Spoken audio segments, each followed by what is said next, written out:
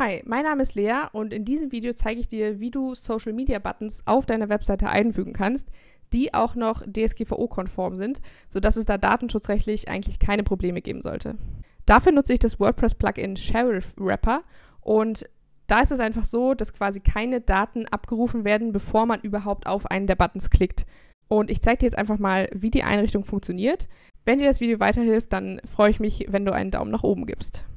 Um das Plugin zu nutzen, gehst du einfach hier in der Sidebar bei Plugins auf Installieren.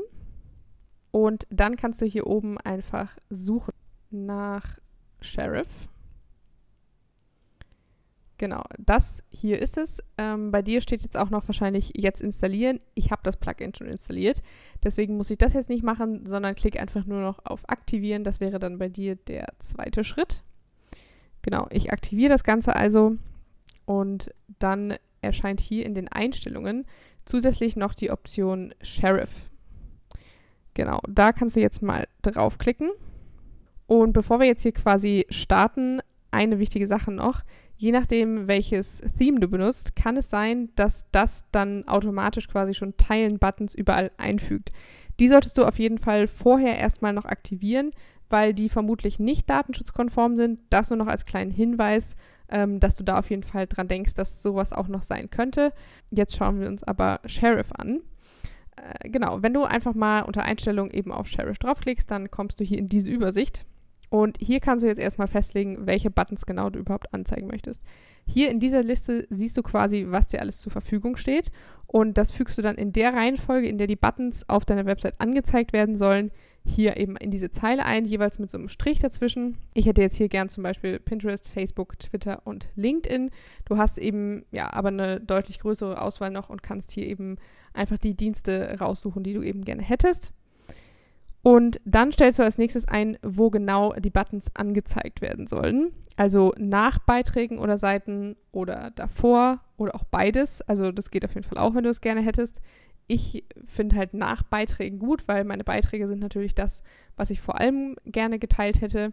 Ähm, nachdem die Leute eben das gelesen haben, sollen sie es dann gerne teilen. Deswegen finde ich das hier auf jeden Fall am sinnvollsten. Hier unten, wenn du mal weiter runter scrollst, hast du dann noch ein paar Optionen kannst die Buttons zum Beispiel bei passwortgeschützten Beiträgen verbergen. Macht ja grundsätzlich Sinn. Also falls du da welche hast auf deiner Webseite, dann kannst du da die Teilen-Buttons rausnehmen, denn die sollen ja eher nicht geteilt werden. Ähm, sonst müsstest du ja kein Passwort davor machen. Genau. Und wenn das alles passt, klickst du hier auf Speichern. Und dann können wir jetzt hier mal uns einen Beitrag anschauen, den ich hier auf der Webseite schon habe. Genau. Und hier siehst du dann jetzt unten, hier sind nämlich jetzt die vier Buttons drin, Pinterest, Facebook, Twitter und LinkedIn, in der Reihenfolge, wie ich das eben haben wollte. Wenn du möchtest, kannst du jetzt hier auch noch das Design anpassen. Da stehen dir ein paar Varianten zur Auswahl. Ähm, und zwar, wenn du einfach hier auf Design gehst. Genau, hier kannst du auch erstmal die äh, Buttonsprache quasi ähm, auswählen. Also, dass dann quasi hier nicht merken steht oder teilen, sondern zum Beispiel share. Wenn du eben Englisch auswählst, das kannst du hier festlegen. Genau, und dann hast du hier eben das Design. Du kannst zum Beispiel auch noch die Größe ändern, also die Button auch klein oder groß anzeigen lassen. Genau. Mm, da hast du hier eben so ein paar Optionen. Genau, und dann gehen wir mal noch weiter zu den erweiterten Statistiken. Hier, ja, hier hast du noch so ein paar Sachen. Also kannst zum Beispiel, falls du ähm, hier den äh, Twittern-Button nutzt, dann kannst du hier auch noch deinen Benutzernamen einfügen, sodass dann quasi im Tweet auch angezeigt wird, ähm, also von wem quasi das Ganze kommt. Das kannst du hier noch einfügen. Dann haben wir noch die Option Statistik.